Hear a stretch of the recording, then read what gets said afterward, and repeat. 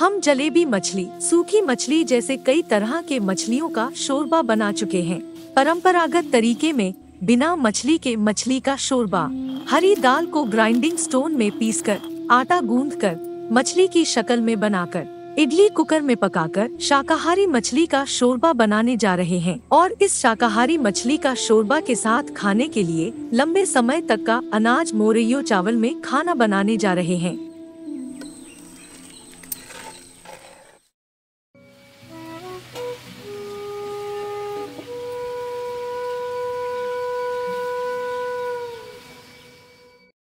शाकाहारी मछली का शोरबा बनाने के लिए हमने आधा किलो हरी दाल और तीन अंडों को ले लिया है।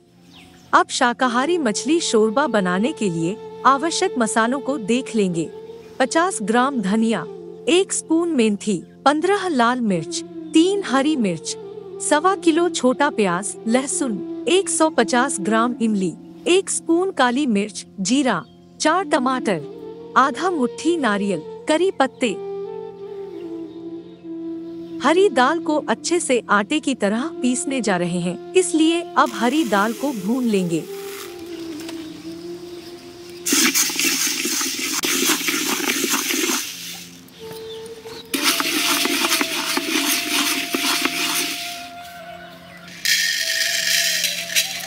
हरी दाल को अच्छी तरह भून लिया गया है, पीसने के लिए ठंडा होने रख देंगे।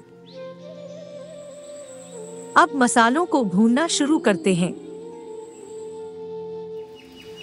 लाल मिर्च।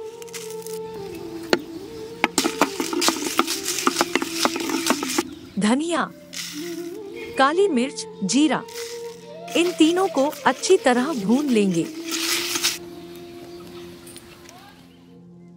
अब हरी दाल अच्छी तरह ठंडा हो चुका है। इसे ग्राइंडिंग स्टोन में डालकर पीसना शुरू करते हैं। हरी दाल को जितना पीसा जाएगा, उतना बेहतर होगा।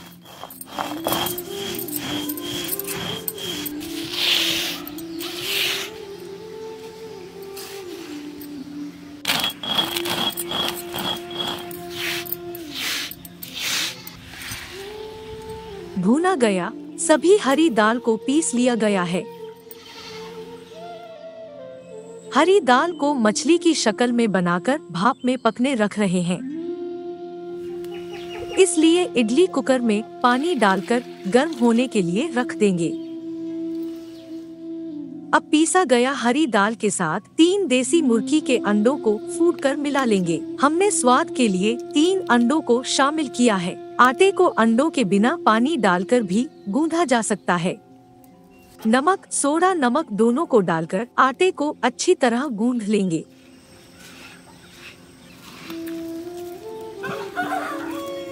पानी कम डालकर आटे को मजबूती से गूंध लेंगे, तभी मछली की शक्ल बनाने में आसानी होगी।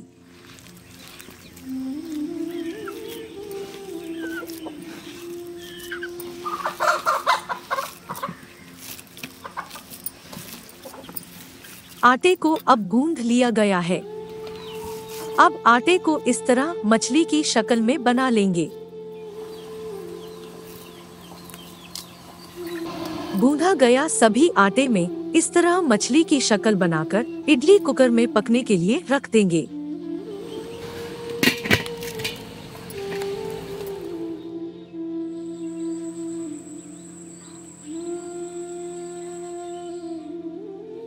अब भुना गया मसालों को पीसना शुरू करते हैं।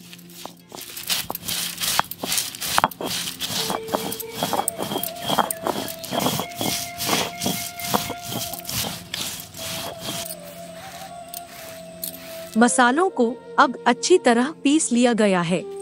आधा मुट्ठी नारियल को ग्राइंडिंग स्टोन में डालकर पीसना शुरू कर देंगे।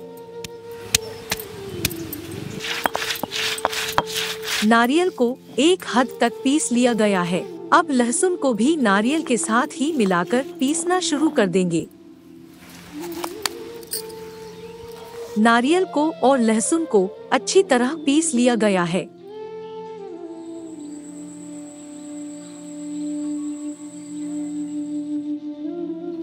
पंद्रह मिनटों बाद मछली की शक्ल में बनाकर रखा गया हरी दाल अच्छी तरह पक चुका है।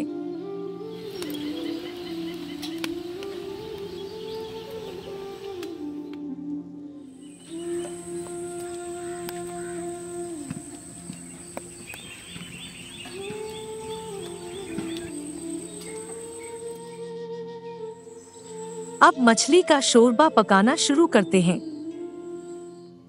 बर्तन अच्छी तरह गर्म होने के बाद थोड़ा तेल डाल देंगे। तेल अच्छी तरह गर्म होने के बाद थोड़ा सरसों डाल देंगे।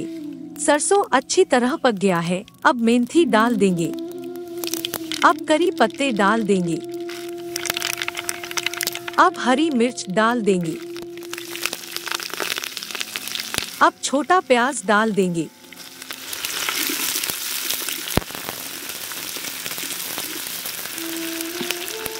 टमाटर को निचोड़ लेंगे। अब भीगने के लिए रखा गया इमली को घुलकर टमाटर के साथ मिला लेंगे। उसके साथ पीसा गया लाल मिर्च और धनिया को मिला लेंगे।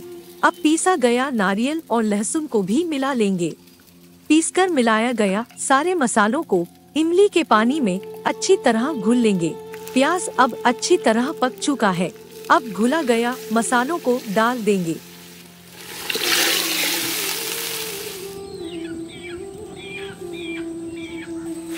अब ज़रूरत के अनुसार नमक डाल देंगे।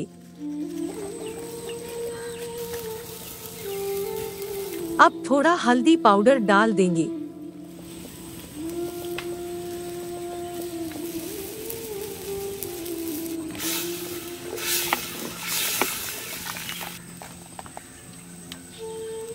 अब डाला गया इमली मसाले सभी अच्छी तरह उबलने लगा है। अब मछली की शक्ल में बनाया गया हरी दाल को डाल लेंगे।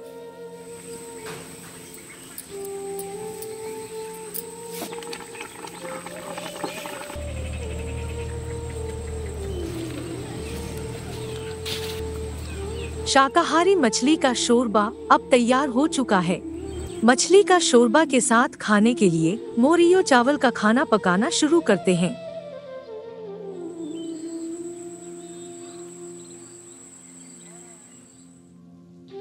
मोरैयो खाना बनाने के लिए हमने एक किलो मोरैयो चावल का इस्तेमाल किया है। अब मोरैयो खाना पकाने के लिए पानी गर्म होने रख देंगे।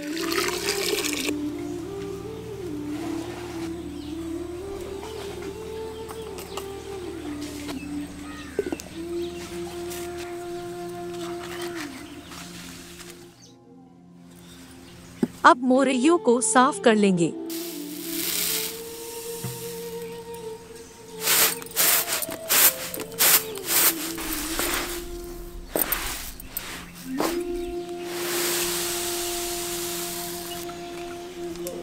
अब मोरैयों को पानी में डालकर अच्छी तरह धो लेंगे।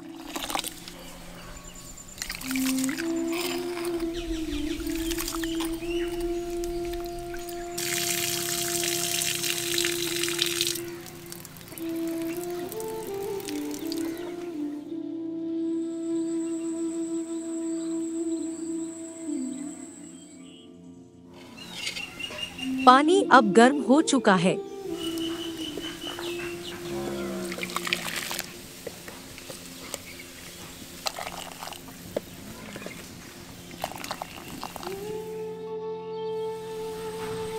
अब भीगने के लिए रखा गया मोरियो को गर्म पानी में डाल देंगे।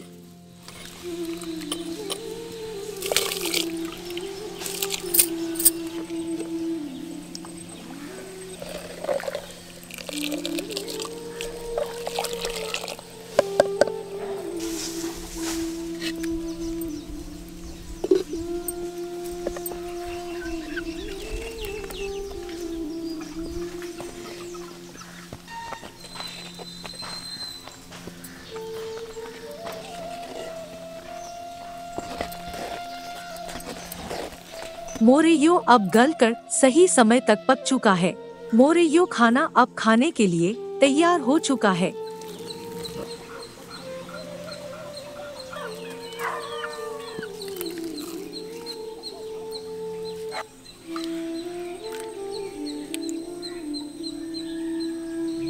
अब मोरियो खाना के साथ खाने के लिए परंपरागत तरीके में बनाया गया शाकाहारी मछली का शोरबा तैयार है।